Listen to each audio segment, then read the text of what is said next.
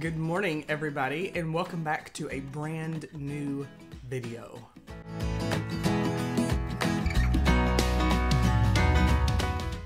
So today is going to be a recipe video. Um, this is not a cooking channel by any means, but I do like to share some quick recipes that I know that my kids enjoy. If your kids are anything like Bayla, Brindley, Ansley, and Kinley, they are picky eaters. And Kinley is home with me during the day, so around breakfast time, no matter what I make her, the majority of the time she only eats just like a third of it. And I try to get her to eat all of it. And I spend most of the morning in here in the kitchen telling her, hey, come on, eat more, eat more, eat more. But I am also a firm believer that if it looks neat, they will eat it so much better. And I discovered this with these cheesy Mexican egg muffins. They are so delicious. I was in the kitchen one day and I was kind of just messing around with them and I on the first try I got the oven temperature right and I got the time right as far as how long they are in the oven for for them to be really melty and yummy and soft eggs.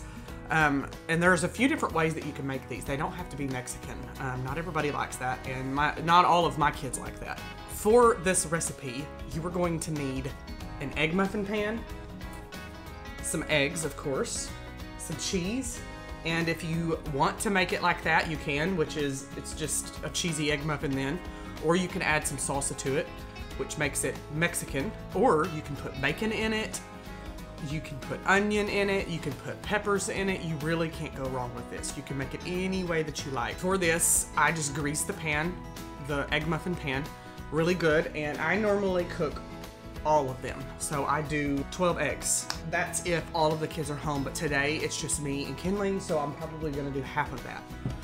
But grease the pan really well. You're gonna crack your eggs into this egg muffin pan.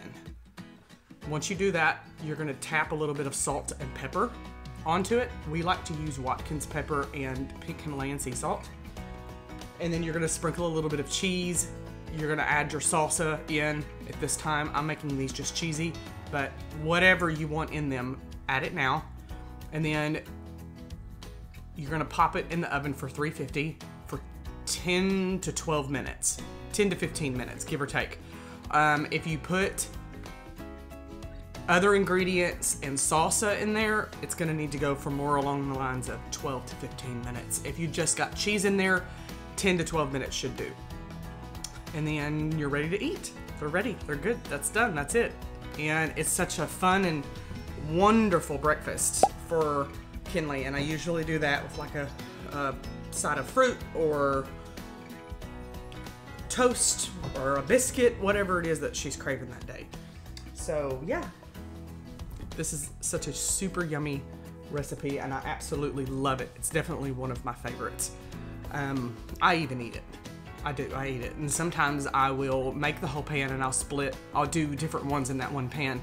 One will be cheesy Mexican, one will just be cheese, one will be vegetable, and that way everybody in the house can choose from whichever one suits them best. So, I hope you guys enjoyed this video and this recipe. Uh, be sure to like, share, comment, and if you're new here, make sure that you're subscribed so that you get notified whenever I upload more videos like this. And let me know what you think. Let me know if you've made this. If you made, if you have already made this, but let me know if you do make it. Leave a comment down below. I will see you guys in the